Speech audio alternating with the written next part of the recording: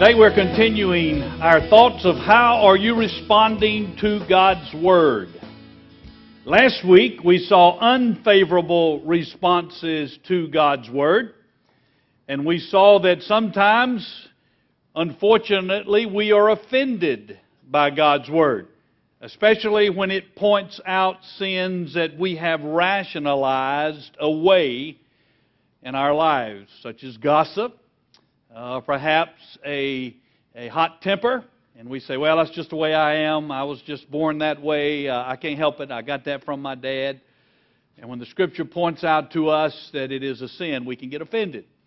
Uh, or sometimes uh, we get uh, uh, greatly disturbed and upset by what the scripture tells us. also, sometimes we just outright reject God's word. It goes against something we've held before as being right and true. Uh, and so we don't like it. We reject it. And then sometimes, unfortunately, we attack the preacher. We attack the messenger when we don't like what is said. Today, though, we're going to look at favorable responses to God's Word. And I do indeed hope you find yourself in these responses. The first one is found over in Luke chapter 1. And it has to do with Mary, the mother of Jesus. And this surrender is to surrender to the authority of God's Word. To surrender to the authority of God's Word. You will remember that Mary uh, was visited by an angel called Gabriel. Mary was probably a teenager, and she was engaged to Joseph at this time. And the angel came to her and said that God had chosen her to be the mother of the Lord Jesus. Now, Mary had taken Biology 101, so she knew that there was a problem here. And so she says to the angel, Well, I don't quite understand how that can be because I'm a virgin. How is it that I'm going to have a child? And the angel said to her, It's going to be a miracle. The Holy Spirit's going to come upon you, and you will conceive miraculously. Now, I want you to put yourself in Mary's position for a moment, particularly you ladies. Think back when you were a teenager, and even 50 years ago, and I know most of you wouldn't qualify to be a teenager 50 years ago, but you remember the stigma that was attached to an unwed mother. Uh, it was even a greater stigma in Mary's day. Uh, now imagine how she must have felt as she realized the consequences of becoming pregnant outside of wedlock. I mean, she could be stoned for adultery. What would she tell Joseph? Imagine, guys, your fiance comes up to you and and uh, she's a virgin, and she says to you she is pregnant. And she says, um, It's from God. How would you have reacted? All right? Well, Joseph was just like you and me, man of flesh and blood. Uh, so she had to think, well, how's Joseph going to take this? What about going to your parents and saying, Mom and Dad, I'm pregnant, but I'm still a virgin? Uh huh. Yeah. Well, it's the Holy Spirit brought it. Imagine mom and dad's reaction. Imagine their hurt. Imagine the embarrassment that she anticipates that they are going to experience. And so put yourself in Mary's position when God comes to her through his angel and announces his word to her is that he has chosen her to give birth miraculously to his son. She knows and anticipates the embarrassment, the stigma that's going to be attached to her. And by the way, that stigma lasted for years. In fact, when Jesus was a, an adult, he was accused of being born out of fornication. So obviously, the rumor continued even unto Jesus' adulthood. Yet, how was Mary going to respond to this word, even though it was going to cost her dearly in suffering, pain, embarrassment? We pick up her response in verse 38. But verse 37, the angel says, For nothing will be impossible with God. And Mary said, Behold, the bond slave of the Lord. May it be done to me according to your word. Mary's response was one of surrender to the authority of God's word. She refers to herself as the bond slave of the Lord. Now, there were different levels of being a servant in biblical days. The bottom of the rung of the ladder, the lowest of all servants, was the bond slave, the bond servant. These were the guys that were used to, to roar, to, to row the boats with the oars. Uh, the ones that would have to, they'd have all about 50 oars and 25 on each side, and those were the guys that had to do the roaring of the oars. It was the lowest of the low slave. And this is what Mary says she is. Lord, I, I submit to your authority totally and absolutely in my life. The bondservant in biblical days had no rights. His master could take his life at will, and no one could say anything. He had no will, but his master's will. And so, what Mary is saying when she calls herself a bond slave of the Lord is she's saying, Lord, I surrender to your will for my life completely, absolutely. Even though this is going to cause me embarrassment, even though I can't imagine what I'm going to go through because of this, nevertheless, she says, Be it done unto me according to your word. Absolute surrender. Lord, if this is what you want for me, if this is your will for my life, I surrender to it. I'm just your bond slave. I'm here to do your will, whatever it is. Now, that is the kind of response we want to give to God's Word. God comes to you and He says, I'm calling you to missions. And I want you to go way off to the boondocks of the Amazon basin. How are you going to respond? you know it's going to cost you. It's going to cost you physically, it's going to cost you mentally, it's going to cost you financially. But are you willing to surrender? Do you say, Lord, I'm your bond slave? Whatever you want, whatever you call me to do. Now, you may be here today. Maybe God has spoken to you and told you He wants you to do something. Have you surrendered to that? even though it's going to cost you, even though you may indeed endure some persecution because of it, you will have to sacrifice. Have you surrendered to it? Second favorable response to God's Word is found over in Luke chapter 5. Here we see Peter. Peter had been out fishing all night and he had caught nothing. He comes in and they're putting the nets out to let them dry so they can go out the next day. And Jesus is teaching, and a large multitude has followed him. And so Jesus says to Peter, Let's get out a little bit in the boat so that I can speak to the multitudes, and they will hear what I say. And then after he's finished teaching, he says to Peter, Peter, let's go out for a catch. And here we have Peter confronted with the word of the Lord when it doesn't make good sense to him. But he responds, nevertheless, in obedience to God's word. First of all, Peter had caught nothing the whole night before. Night was when they went fishing. And here Jesus is saying, let's go back out. It didn't make fishing sense. It didn't make sense according to the way Peter's occupation taught.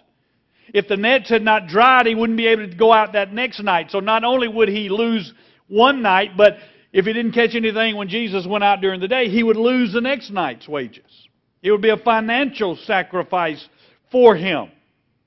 And so he comes to Jesus when Jesus says this, and we're picking up in Luke chapter 5, beginning with verse 4. And when he had finished speaking, he said to Simon, Put out into the deep water and let down your nets for a catch. Simon answered and said, Master, we've worked hard all night and caught nothing. In other words, Jesus, let's think about this. I mean, this is really not a good idea. You don't realize we've already been out all night and we didn't catch anything. And now you're saying, go back out? We just came in. But look what Peter says. Peter says, But I will do as you say and let down the nets. And when they had done this, they enclosed a great quantity of fish, and their nets began to break. He obeyed the Lord, even though it didn't make sense to him to do so. He obeyed the word.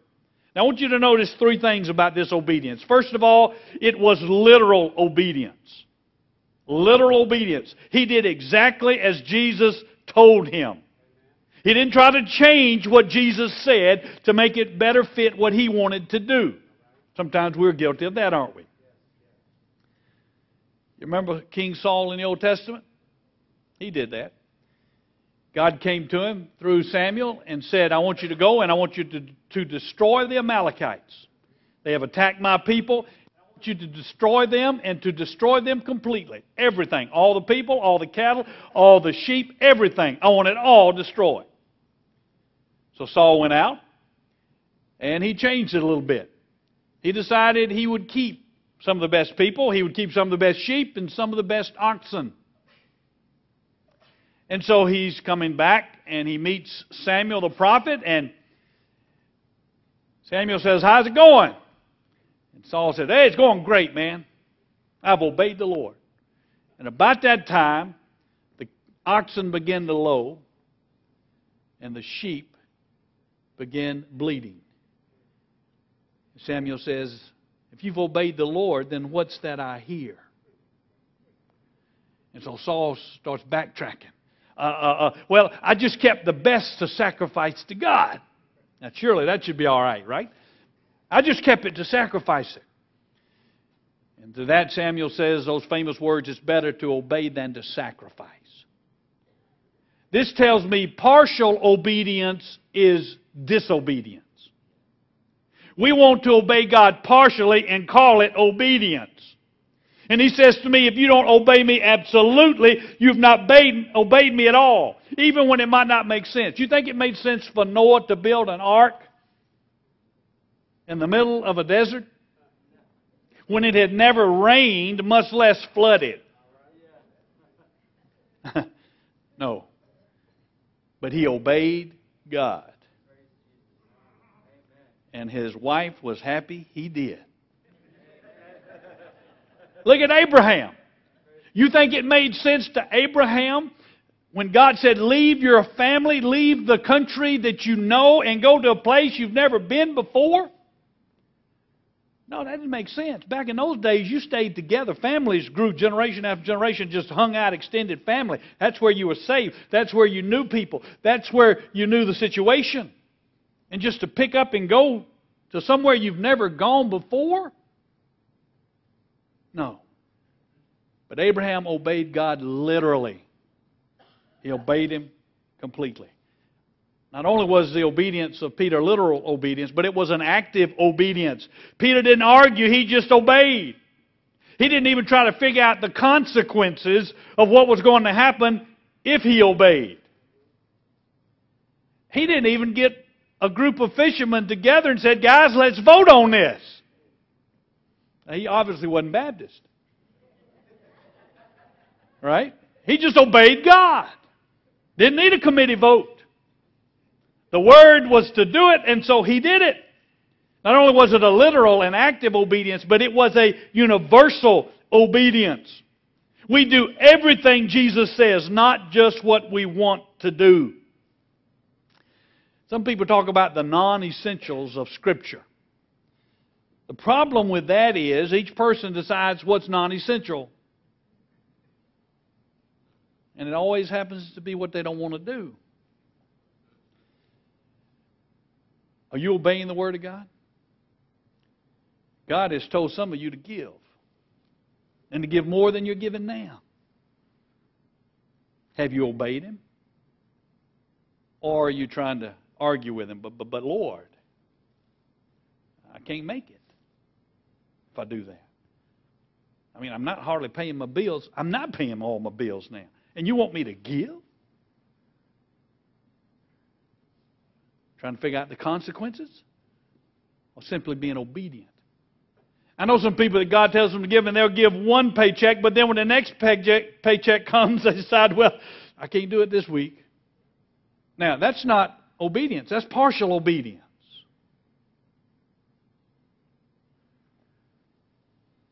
Now, God may have spoken to you about some area. Now, I just want you to, first of all, make sure it's God speaking. You got three voices speaking to you. You got your voice, you've got God's voice, and you've got the devil's voice. And the problem is they all sound the same. They sound like you. So you got to determine which voice is this? And if God's telling you to do something and it may not make sense to you, then I would encourage you to go to someone who is in spiritual authority over you and share with them what you think God's telling you to do. Because people have done some weird things in what they say is the name of the Lord. God told me to do it. So, if it's something way out there, you know, I wouldn't have faulted Noah if he'd gone to someone in spiritual authority over him and said, Look, I think God's telling me to build an ark here. Once it's determined, yes, this sounds like God, it may not make sense. It may, I can't understand the consequences, but God has said to obey. It doesn't violate any other teaching of Scripture.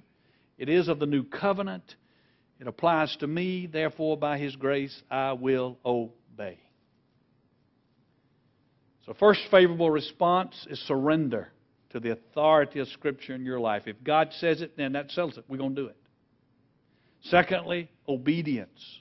Literal, active, and universal obedience. The third favorable response to God's Word is repentance and faith. Repentance and faith. We see this over in Acts.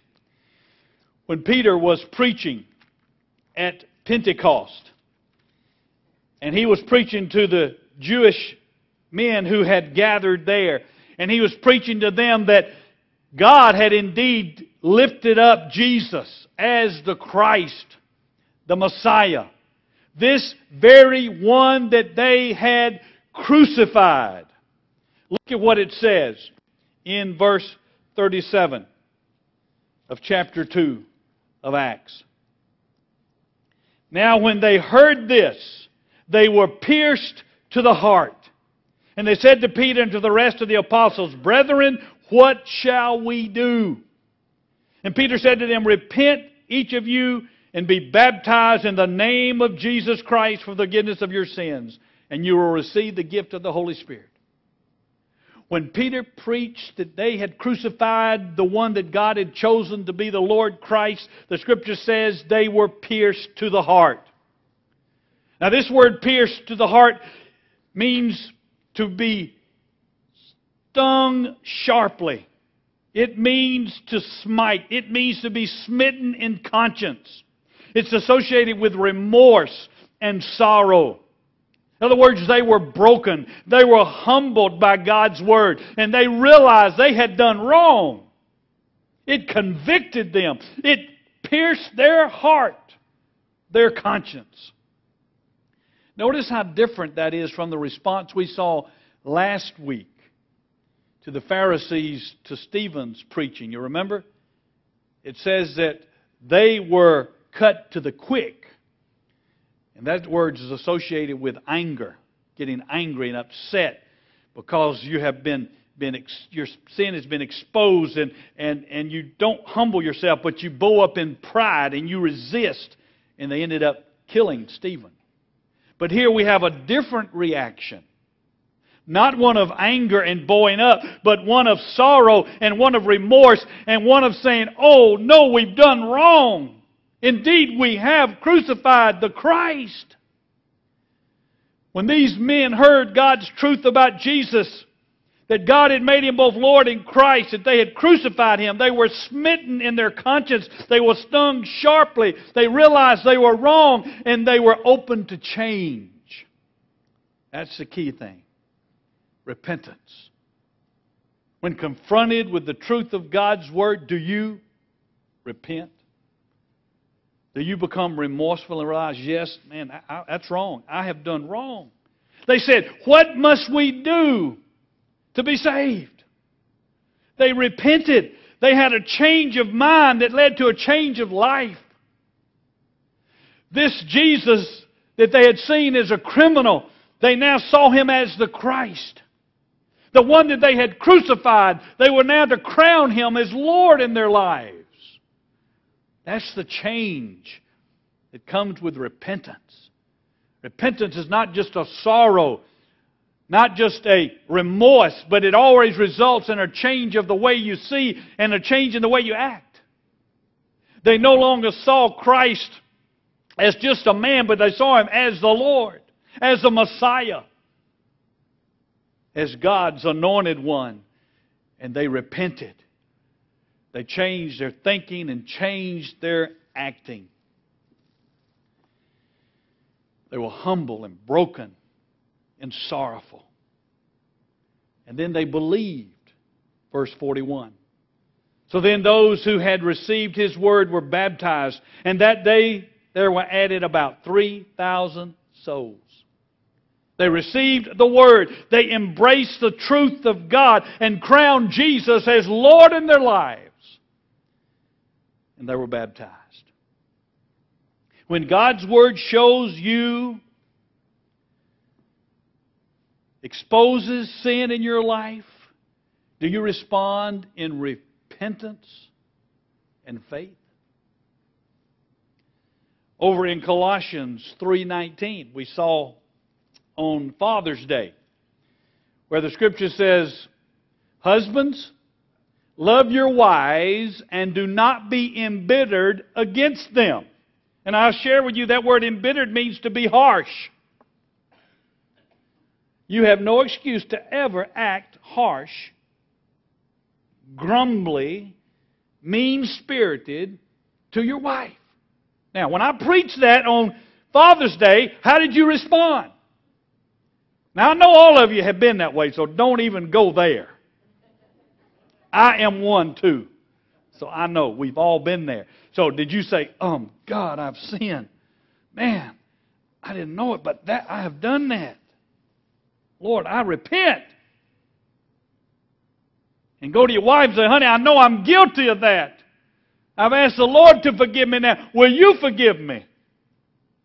Now that's responding in repentance and faith. How about when the scripture says, as I mentioned a few weeks ago in Philippians 2, do all things without grumbling or disputing? How did you respond to that scripture? Did you say, mm, God, I'm guilty. Man, I know I grumble.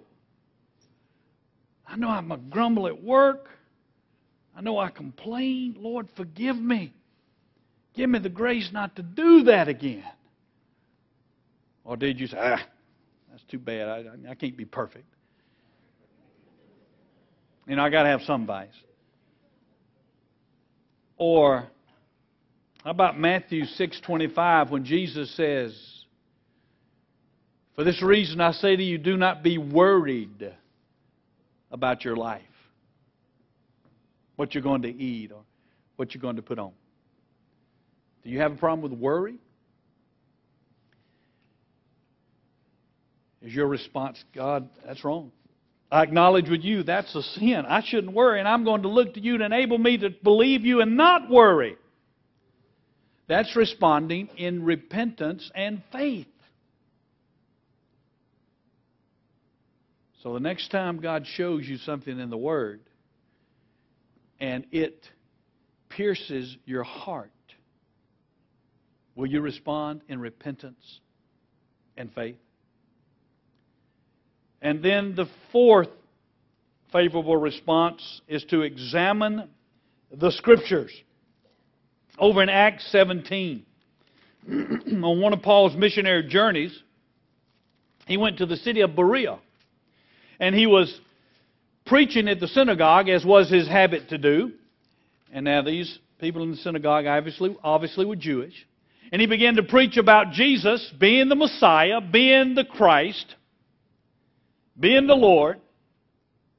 And these people were noble minded, the scripture says. And you know what they did? Unlike the Sadducees we saw last week, who again got greatly upset, unlike the Pharisees who wanted to attack Stephen, they said, well, let's search the scriptures and see about this. I mean, this is something we haven't heard before, but hey, we're open to it. Let's see if this is indeed what the scripture teaches. As we see over in Acts 17, in verse 10. The brethren immediately sent Paul and Silas away by night to Berea.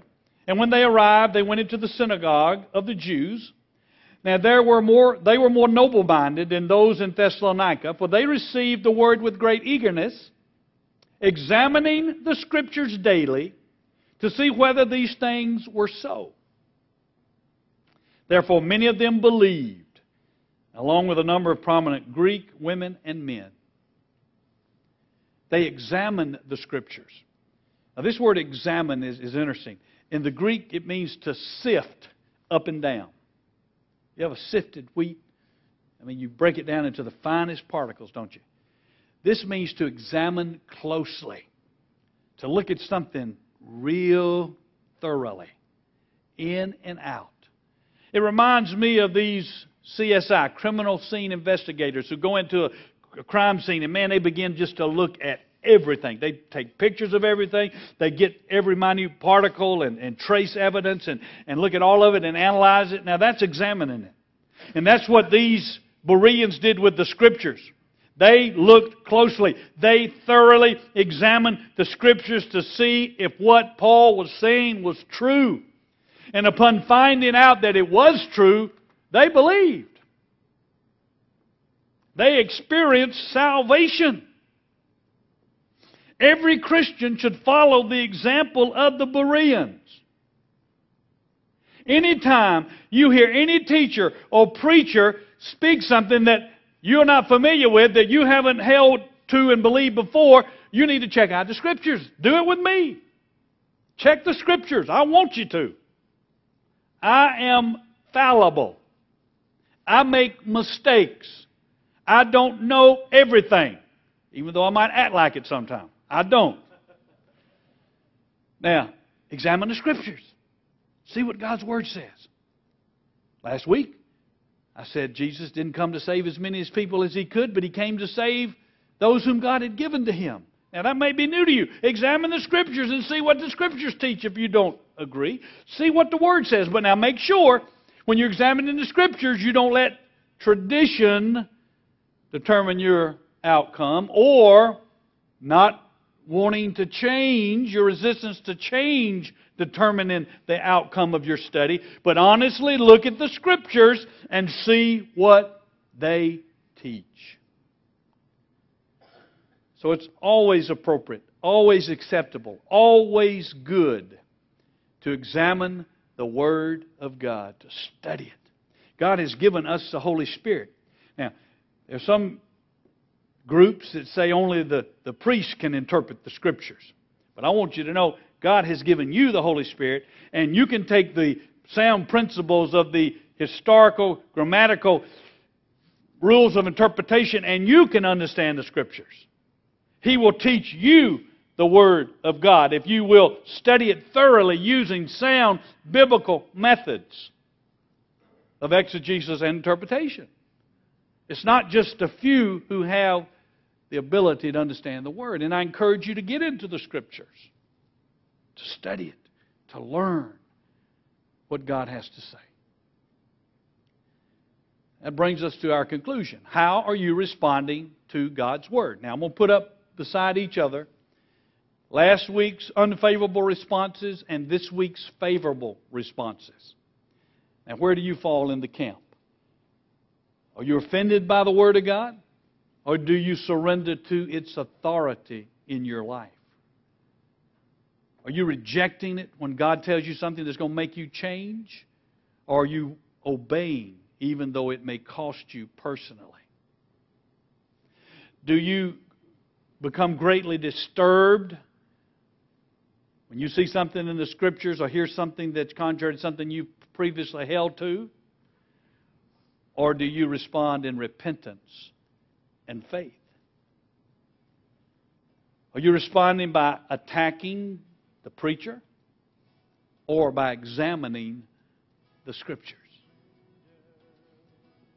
The Bible is God's Word. How will you respond to it in your life? Let's pray.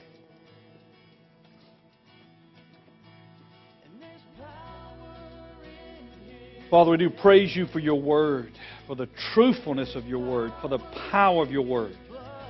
And I pray that your Spirit will enable each of us to respond appropriately in, in surrender, in obedience, in repentance and faith,